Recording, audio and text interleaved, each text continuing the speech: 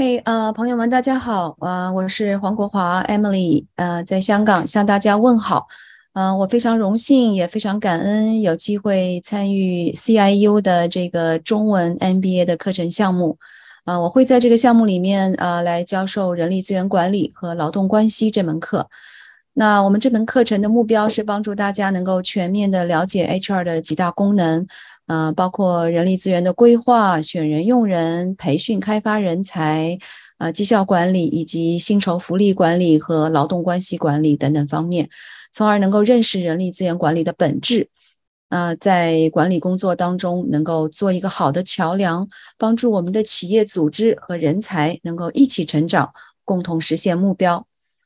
啊，我非常盼望有机会能够认识大家，我们一起在这个真的是非常特别的一个 MBA 项目里面，能够透过深入的分享探讨，来一起学习，来啊共同提升我们的呃管理能力。好，谢谢大家。